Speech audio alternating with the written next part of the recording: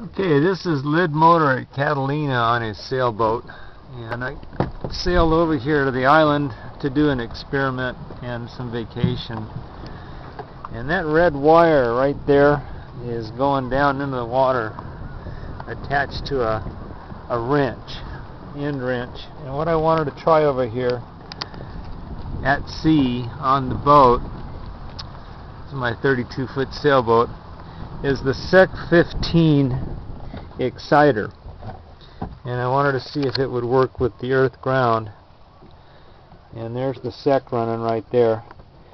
And um, what I really wanted to see was what this earth ground would do using the ocean instead of an earth ground. So there's the end of the red wire right there.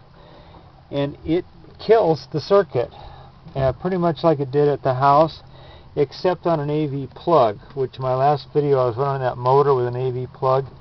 And if I tap this AV plug with this ocean ground, I get a bump out of it. And that's what I was looking for here was, do I get the same thing using the ocean as I did with the earth? And the answer is yes, I do. And so, the earth is the earth, whether it be the ocean or the earth. So that's what I wanted to do. This is just one of these AV plugs, which is just uh, a couple of diodes um, on an LED and the wire right there, and it lights up anywhere you get near the the uh, SEC exciter. And also the um, the thing is hot, just like at the house.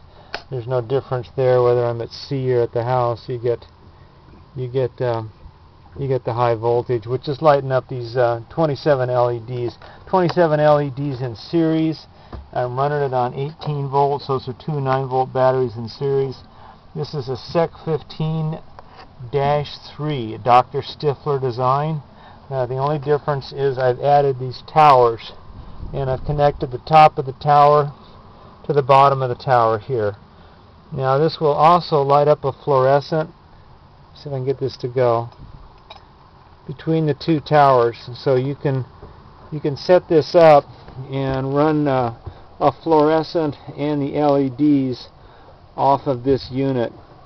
And if this was uh, boxed up correctly and and the design worked out on it this would be effective lighting on a boat. And uh, this is what I wanted to see is just what kind of uh, performance this would do at sea in a very simple unit running just uh, simple power supply. And then I wanted to check out this this ocean ground and uh, it does work. And I was uh, I was surprised to see that work. Let's see if I can do it right here.